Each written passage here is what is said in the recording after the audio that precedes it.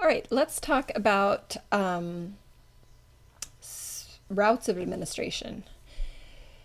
So, um, when we start to think about administering drugs, when we discuss the routes of administration, what we're really trying to figure out is where do, are we putting these medications and how do they work? So, the first thing to make sure we understand is the difference between a local action and a systemic action. So essentially, local action means that the drug acts right where you put it. So the drug acts where it's placed. Most of the time, drugs that are producing a local effect are drugs that are administered directly to the skin or to a mucous membrane. There are some there there are some kind of gray areas like for example uh, if someone's having an asthma attack and they use a meter dose inhaler and they inhale a, a medication that causes their airway to open the action of that drug is acting right on the airway essentially and so that could be loosely considered a local action. But most of the time we think about a local action is this drug is acting at the site at which it is placed Systemic action then is probably the most common, and that's where the drug is administered, but it acts someplace else. And that would be, again, referred to as systemic action. So the action can be on the whole body or it can be on a target tissue, but it's not right where you put the drug. Um, going back to a local effects for a minute, sometimes um, like an example of this would be like if somebody had had a rash, an eczema or something, right, which is sort of an allergic condition affecting the skin, in which it can cause the skin to be kind of abraded. Um, they tend to itch a lot, and if there's any sort of open wound and you put a drug locally to that location, um, like on the skin, for example, some of that drug could be systemically absorbed, and they may develop side effects, systemic side effects. So even a drug that's administered locally can still produce systemic effects, but the action would still be local. So I think for the most part, this is pretty straightforward. Um, occasionally, this can get confusing, like uh, where people tend to go sort of astray with this is when we start to look at like the skin patches. So we have like uh, pain meds that sometimes can be administered via a patch or oral contraceptives that are administered via a patch, like an estrogen patch, for example. Um, and in those cases, when you put the drug, or pardon me, you place the patch on the skin, it's not acting at the skin. So even though it's a it's a, a skin contact, right? It's being applied to the skin. It's still being absorbed via the skin, moving into the blood, and then affecting the target elsewhere. So if the if the I guess the easiest way to think about this is to think about where's the target, where's the action. If it's anywhere other than where you've put the drug, then that means it would be systemic. And those are by far and away the most common types of applications. So I want to run you through the routes of administration. So we've gone over the difference between systemic and local, and now we're going to look at the different routes of administra administration and for focus on the advantages or disadvantages of each of these routes, some of the cautions for some of these individual routes, and then again, if it's local, systemic, action, or both. All right, so we're going to kind of go through some of the places where we might put medications. First is the skin and the mucous membranes. These are usually considered topical and oftentimes are considered local, but not always. I gave you some examples of other options for systemic. But again, local is usually the intended action. So this would be like any antiseptic agent, any cleanser, any emollient or moisturizer, that would be a local action. Um, if the skin is broken, then we may see some, some systemic absorption. Um, again, the systemic examples of applied to the skin, the best example I can think of are those skin patches, right? Um, the patches, that, that would be a good example. You know, um, sometimes they put heart meds, nitroglycerin in a patch, pain, medica- pain medication in a patch. Um, agents to, to help to facilitate the cessation of smoking in a patch. Those would be all local, all applied to the skin, pardon me, but with a systemic um, action. Um, mucous membranes are another route, potential topical route of administration. So we've got nose drop sprays, decongestants, hemostatic agents. Those are things that stop bleeding. Um, with any case, we can get some systemic absorption. It's mucous membrane, it's pretty vascular, so we have to kind of consider that. Um, and as we get into some of our different conditions um, in our individual units, we'll talk some about some of those pot- potential contraindications. So on the slide there, it talks about glaucoma. Um, agents that are sometimes used for glaucoma can, and they're, they're used topically, they're drops. Um, but they can have some systemic side effects. And so, if somebody has a condition like high blood pressure, which could potentially be compounded by the application of these topical eye drops, then you wouldn't want to use those for those patients. Um, Okay, these are some systemic uh, op options for the application of the nasal mucosa vasopressin, um, which is also antidiuretic hormone, cocaine, heroin, right? Those are outside of therapeutic uses, so we don't really need to think about those in terms of clinical pharmacology, but that comes up for other conditions and other circumstances, pardon me. Um, so inhalation uh, routes of administration, we can do uh, antibiotics this way. There are um, things that can help to break up secretions that can be inhaled. Um, those would be considered local administration. There's gases that are inhaled, anesthetics, gaseous anesthetics, um, carbon dioxide, oxygen, nitrous oxide, those kinds of things. Um, in, in, terms of mucous membranes and the genitourinary tract, most of the time its local action is intended when you are applying something to the mucosa of the genitourinary tract. But again, anytime you have traumatized tissue, the option for systemic absorption is always there. All right, so we're going to focus on we're going to we're going to really focus on the enteric routes or enteral routes and the parenteral routes. So the term enteral or an enteral route refers to any interfacing with the GI tract. So anything you swallow into the stomach, down the hatch, through into the esophagus and into the stomach, and then ultimately into the intestines, that would be an enteric route. Sublingual and buccal administration. Sublingual is um, under the tongue and that's, you know, so this is a little bit confusing because uh, under the tongue, you've got a pretty elaborate vascular bed. And so some medications, like the one I'm thinking of off the top of my head is nitroglycerin, which is a medication used for angina or chest pain and sometimes they'll uh, will administer nitroglycerin under the tongue. And the reason for that is because if we swallow it it's not as bioavailable. But if it's under the tongue it gets absorbed into the bloodstream and it sort of a, a portion of it bypasses the uh, gi tract.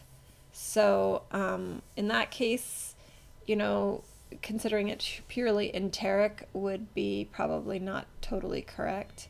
Buccal is between the cheek and the gum that's uh, common in dentistry, rectal administration. You are going to get, if you, utilize this route of administration, you're going to bypass the liver to some degree, but you are going to still get some GI uh, interfacing. We'll talk more about that.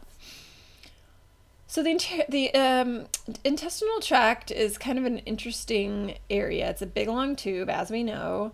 Um, and the majority of medications are administered this way because it's easy and it's cheap, and as long as they can swallow, it's, you know, probably the most available route of administration.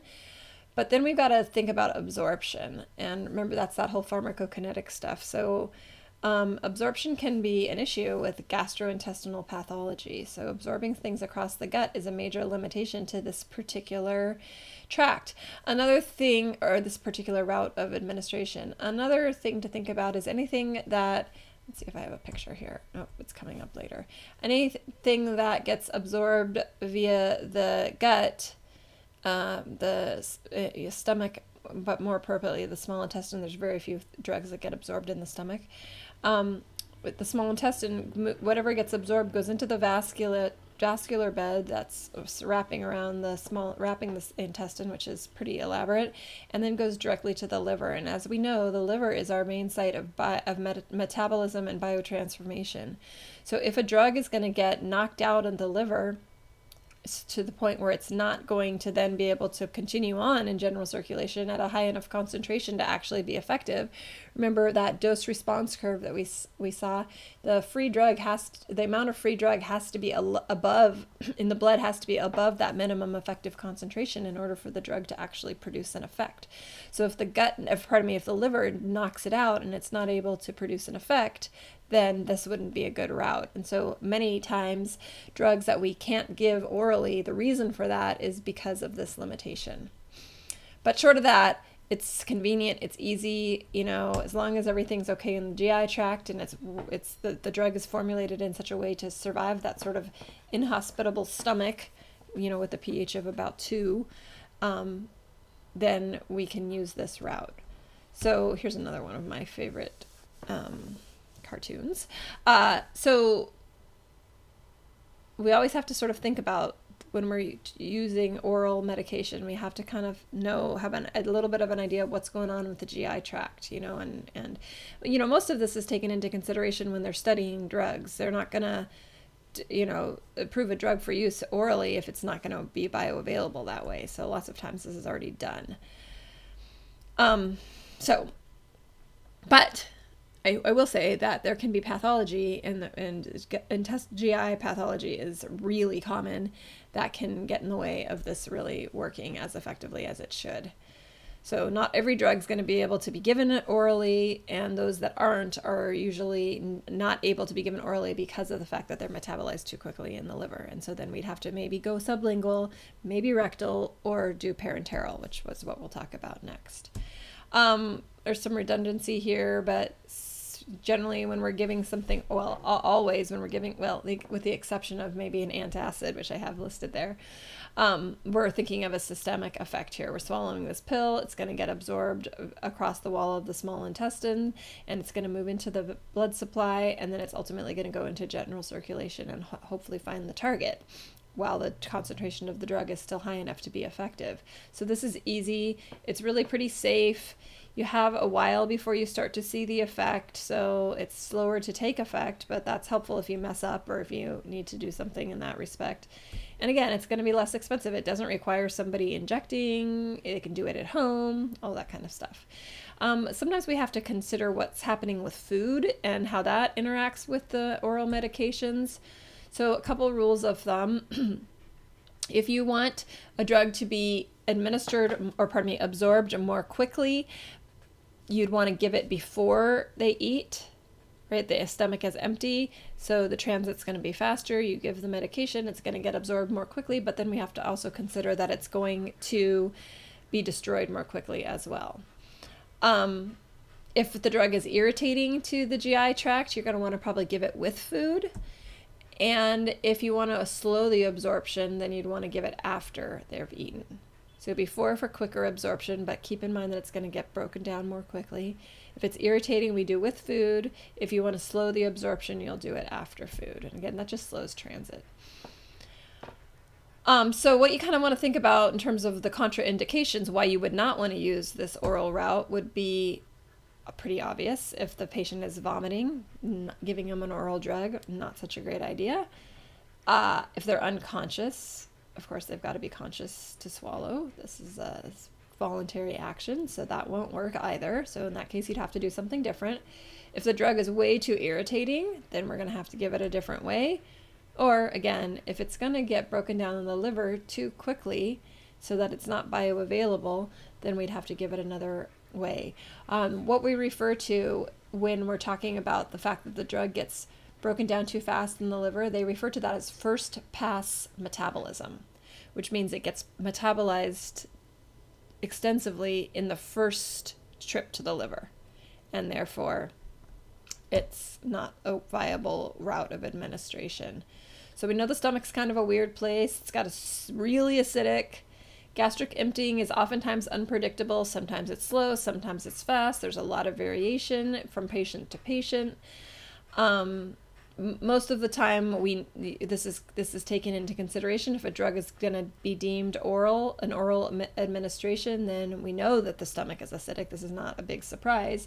And so the oftentimes the drugs are coated or they're protected in such a way that they'll survive the uh, that inhosp- potentially inhospitable environment of the stomach um, sometimes we want this drug to be broken down in the stomach, in which case uh, we, will talk a little bit more about that in our third video, our third unit, excuse me. Um, all right, so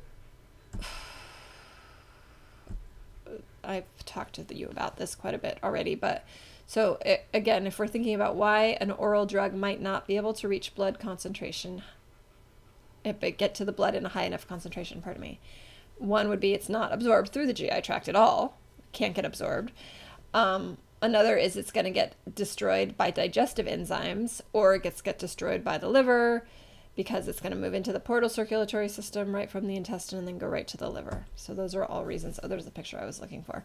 So I'm sure you guys remember this, but this is, of course, the GI tract. Lots of every, the bulk of it's missing, but you can see the portal circulatory system. So whatever gets transported across the wall, the small intestine isn't here, but this is where it would be, moves into this vascular bed and then goes straight to the liver. And then from the liver goes into general, or ultimately goes to the right side of the heart and it gets pumped into general circulation. So those are all of our barriers, right? Not it doesn't get absorbed. Or the other thing to think about, which we're not really talking about pathology here, but I think it's a good place to, to include this.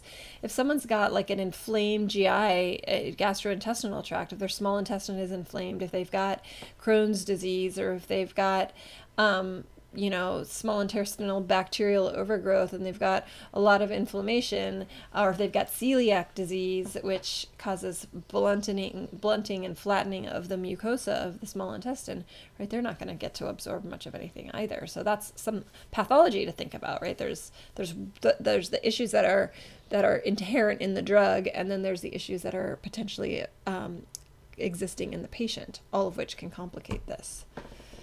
So in the case of this digestive enzymes destroying the drug or the drug being destroyed by the liver, we can bypass portal circulation to some degree if we use the sublingual route or the buccal route or the rectal routes of administration. I'll get more into that in a minute.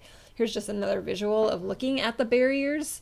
So if a drug's administered, um, these are the barriers that it has to get across, right? The stomach, most most drugs are going to move into the small intestine, and then they're going to have to leave the small intestine. And they're going to get into the ultimately into the um, portal circulatory system, get into the portal vein, go through the liver, go into cir- general circulation, then get to the target tissue, then have to get move in and you know affect the cell.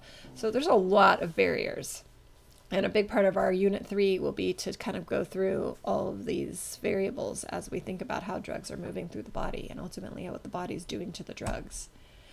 All right, so here's a little bit more on the sublingual and buccal. Remember, again, these are this is a good option for drugs that are destroyed by the liver and or by digestive enzymes.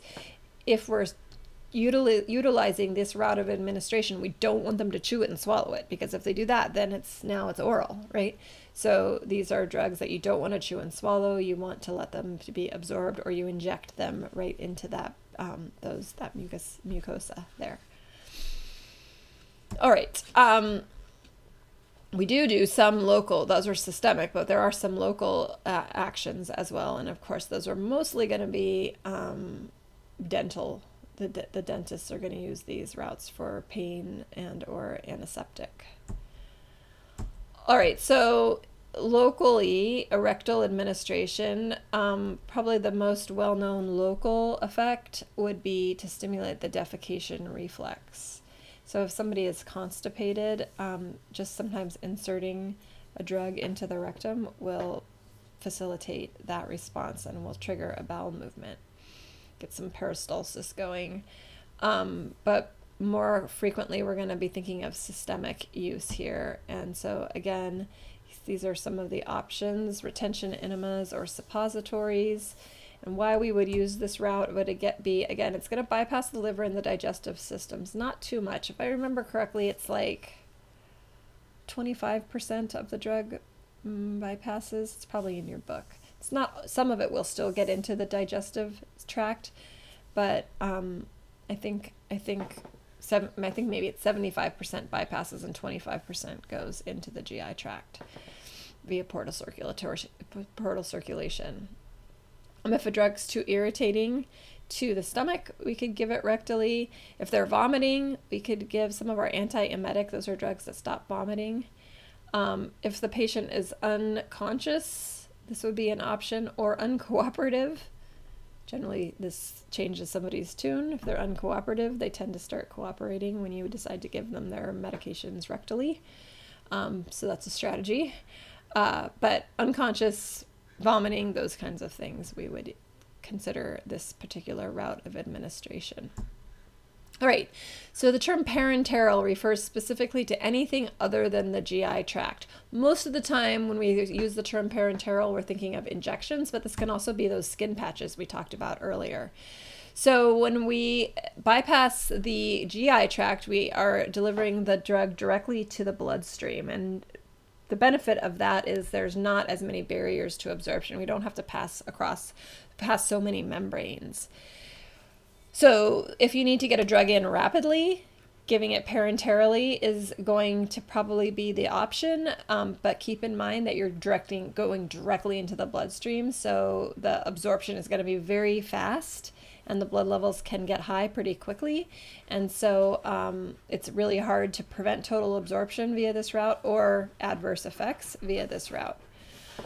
Um, sometimes the medications that we inject are caustic and, and, or irritating to the tissues so that's something to kind of be aware of and also this particular route has the ability to introduce some microorganisms and that's something we need to be sort of cautious with and of course there's you know technique involved with this and you know sterile technique and all of that which you'll learn at some point so traditionally the um, parenteral route is dependent on the where the needle is placed. So there's a lot of options. I'll show you some pictures here.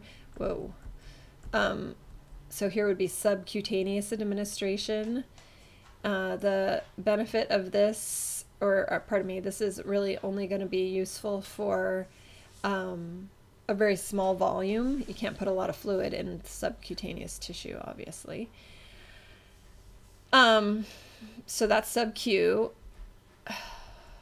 Then we have intradermal, more shallow yet. Not used that often, except for like in the case of like the TB skin testing, they do that intradermal. Um, when they do allergy testing and they inject antigen, uh, this is an intradermal injection. Uh, intramuscular, this is used a lot. Um, intramuscular goes down into the muscular layer. Of course, you can see the needle there. Um, the benefit here is this can spread the medicine out over a pretty large surface area. Um, depending on what you're injecting, if it's a suspension, it tends to be absorbed more slowly, or if it's something that's, that's more watery, it's going to be absorbed more rapidly. The benefit of the IM administration is you don't really have a lot of sensory nerve endings down there, so this doesn't really hurt you know, they might feel a little bit when the needle is inserted, but once you get down in there, it doesn't, they don't really feel much. Um, and also because there's not as much, um, there, there's not as, as much vasculature down there, you're mo most not likely to get as much irritation. Uh, you do have to be a little cautious because you can nick a blood vessel and or a nerve in that area. And so generally what they'll do is they'll sort of like put the needle in and pull back a little bit and just pull the plunger out a little bit make sure you don't get any blood. And then you'll know that you're in an okay area. If it's an if someone if you hit a nerve they're gonna your patient's gonna tell you. So you'll know right away. But a blood vessel is a little bit different and then we have intravenous and we have intra-arterial. Uh, intra-arterial is a very specialized uh, injection which we're not going to talk about but intravenous injections are done commonly. So um, IV are going to be the most rapid and potentially the well intraarterial would be more dangerous but uh, we're not going to talk about that. So of the more commonly done uh, parenteral administrations intravenous is the potentially the most dangerous and that's because of the fact that we're getting right into the vasculature um, we got to think about irritation of the veins um, So generally, if you need to get something in immediately, you need to get the blood levels up quickly, this would be the way to go. Sometimes you can infuse uh, IV fluid over a long time, and this is what we do to replace fluids, electrolytes, those kinds of things. Um, when you're learning how to fill a, an IV bag, there's a lot of technique around this as well, mostly around making sure that you use sterile technique and you don't use the same needle to pull up a bunch of, pardon me, different medications because sometimes there can be some incompatibility there and that can cause some like little crystals to form and you don't want to in inject that into somebody. All right couple other ones here. Intraspinal. Right you're going to insert the needle somewhere in the spinal uh, column there and there's different options. Oh, I had another picture but it disappeared. Epidural subdural and and subarachnoid space. Just sort of depends on you know where you're getting the needle in here. Into the joint cavity would be referred to as intra-articular here's sort of a summary of our different routes of administration, you know, and where they go. I like this picture because of this. So we've got the oral routes. They're going to go into the gut and then to the liver and then ultimately into general circulation and then eliminated via the feces or um, the urine once they get into general circulation into the blood. We've got intravenous directly into the blood. We have our injections, sub-Q, um, intradermal is not, oh, there it is. Uh, intramuscular, we've got our patches right into the blood. We've got our inhalers right into the respiratory tract. So you can kind of see. And then from the blood, we're going to excrete things from the blood either into the gut and the out via the feces, out via the kidneys and the urine. We can sweat some of it out, and also we can expire some of it as well. So that's kind of our summary of this unit and the routes of administration. Again, if you have any questions, I think for the most part that's pretty straightforward. Just kind of walk yourself through what the difference between local and systemic. Again, where people kind of get confused with that is like the examples of the skin patches. And just remember, way to make that determination is is where are you putting the drug and where is the action? Where is the target? If they're not at the same place they are not it's not a local administration. Um, you can have both you can you can utilize the skin and or the mucous membranes for both local and systemic. So just kind of make sure you know that. And then the rest of it i think is fairly straightforward. Um, in the next unit unit number three we're going to talk a lot more about actions of drugs. So I will see you then.